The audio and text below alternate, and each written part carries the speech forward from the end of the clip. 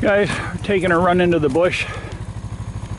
Um, yeah, snowbanks are a little higher since that storm we had last week. I'm gonna take a run into the cabin and see if I can't finish doing the, uh, you know, the audio book report. Not report, I guess, book reading, and uh,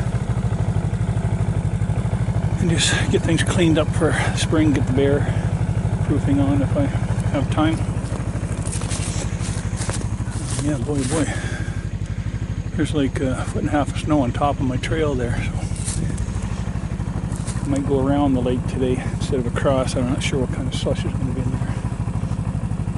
But oh, I just wanted to mention too. There's a a new new guy on the Trapper channel. He's a it's called Wyoming Trapper. Check it out. Got some cool footage. Awesome scenery around there. Anyways. Uh, yeah, beautiful spring day. Gonna get going. Catch you down there.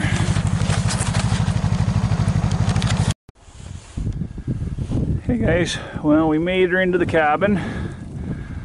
Lots of fur sign everywhere. Lynx just all over the place. I saw maybe five or six marten tracks, so that's pretty good considering the most of the trails through old cutover. Um, some fox, lots of wolf, but just tons and tons of lynx. Um, in here, with this warm weather, you see what. Oh, smokes snow's up past my knees. Remember, I mentioned about how the water just gets on top of the ice and just keeps going. Look how uh, under the water my bridge is now.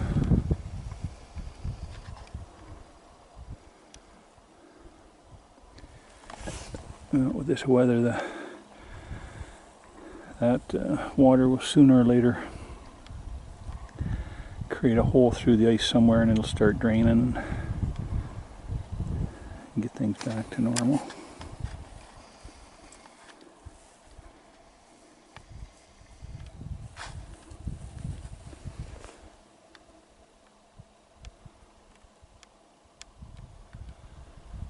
That's the highest I've ever seen it in the wintertime though.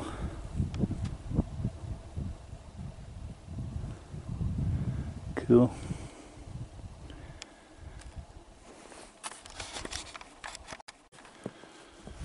I see Mr. Fox has been all around.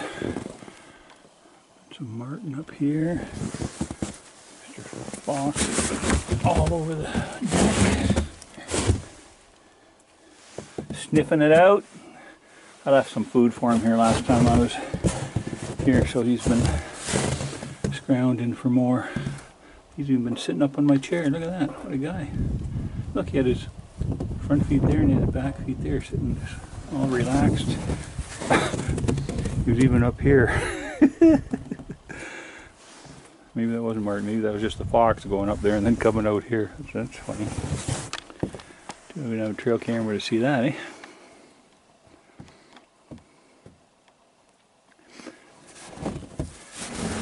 Anywho, we shall uh, get in here, have a coffee, see if I can't get that book finished.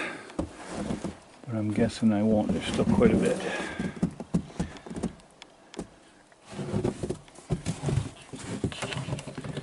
And a nice ride in here though. Shoot, I forgot to reset my uh, mouse traps well, life goes on. I already seen a bit. There guys, just on the way out and uh, noticed a spot on the way in but I blew right past it so I didn't have time. We can see here there's a probably a lynx or a marten caught a, a grouse here and uh, you can see from the sign all the way around here there that was probably a whiskey jack or a magpie that wing mark there is probably a, a, raven or something or it could have been even a, a big owl caught it I don't I didn't you know, I've driven over the trail, so I don't know if there's any lynx tracks here, but there's none going away. So it could even have been that owl right there that caught this grouse and ate it. But, you know, when I went by and, and saw the thing and just remind me I had a discussion with my buddy Bill from Ontario there the other day. And they have a you know the highest lynx population in the White River area where I used to trap that they've had in forever. And uh, you know the rabbits died this year, so they've got lynx are just starving to death. You know he's had a couple that were right in town. He one he had to go shoot because it wouldn't get out of this person's yard. It was trying to get their little dog, and he said it was just skin and bones when he when he skinned it. But uh, you know it, it what he said what's going on is you know it just made me realize how different the uh, the government uh, is there now because you know back when I was there you know we'd have our quota of animals to catch lynx marten all those beaver and you know if you know say my quota was 60 on marten or 5 on lynx whatever and there was a lot of animals around you know, we'd tell the game warden, and the game warden would either come out and double check to make sure there's still lots assigned, and they'd increase our quota. Um, you know, but you know, Bill said they tried to get his quota of lynx increased to six, or from six, and uh, they just said no. And he said, "Well, Jesus, they're they're all dying of starvation." He said, "There's going to be none left there next year they're all going to be gone like they do every you know 10 years or so when the rabbits die the lynx all die out and it's all died of starvation you know so now they're killing the fox and eating them. The you know lynx will prey on the fox when the rabbits turn around. But the the government's answer was oh well that's mother nature. Just let it take its course. You know which you know begs to have one think well people have been harvesting animals for since before we were called people or whatever you want to whether you're a evolutionist or a or not but you know there's people we're always catching animals for skins to for clothing and whatnot. So is that not part of mother nature too? Why let the animals starve to death? It just you know just makes me wonder. Like I've always said, I would love to move back there, but the, you know, with all the stuff I see on the news about the government there, that liberal bullshit that they, um, yeah, it just makes me wonder if I ever would want to move back there. But, anyways, the, uh, you know, the whole lynx starving to death thing because of the rabbits, well, which isn't going to happen here. I, I've seen probably eight or nine sets of lynx tracks today, so which is great. You know, still lots of rabbits, as you can see. There are rabbit trails all across this road here.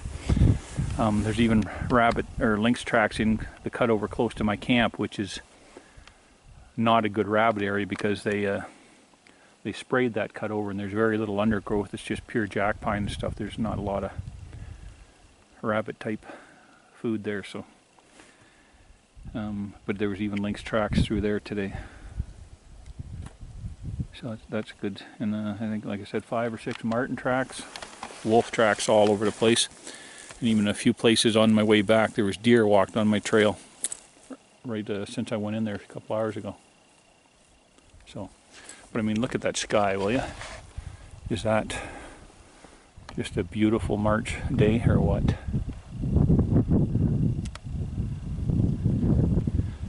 Don't get any better than these boys. I don't know if you guys from the States have seen that commercial. It's a milk commercial. Pretty funny stuff. Anyways, see you down the trail. Keep your boots dry, hey?